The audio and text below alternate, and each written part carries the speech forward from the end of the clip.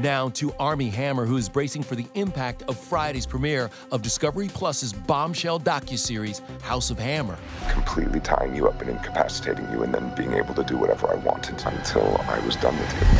According to our ET source, the disgraced actor, quote, has an idea about what's coming. He said, I'm 100% a cannibal. I spoke to Armie's aunt, Casey Hammer, who says the allegations of sexual and physical abuse, which Armie denies, fits in with what she calls their family's decades long pattern of terror. Were you surprised when you saw what was going on with him?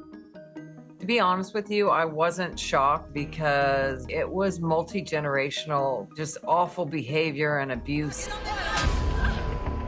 My father slapped my mom really hard, and I just remember seeing blood splatter. She told me that everything was going to be okay. You don't just wake up one day and become a monster, right? You're groomed in a way of what you accept. There needs to be a Me Too with home as well because just because your parents give birth to you doesn't give them free reign to say or do whatever they want to. Ironically, back in 2017, Armie talked to ET about being a victim's advocate in the Me Too movement.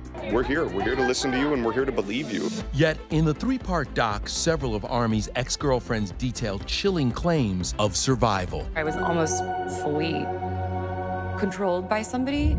You're his completely. They want to ask who's Armie Hammer? They want to is say, yeah, where where is the other guy? The Hammer family's oil dynasty at one point was worth an estimated $1.6 billion.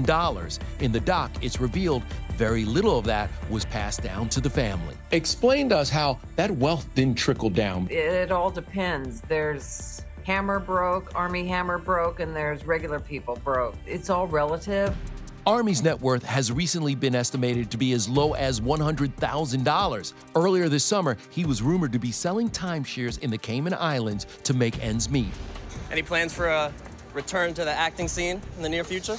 Armie is now back in LA. Our source tells ET he is committed to sobriety, but, quote, his friends are nervous that the documentary will crush him.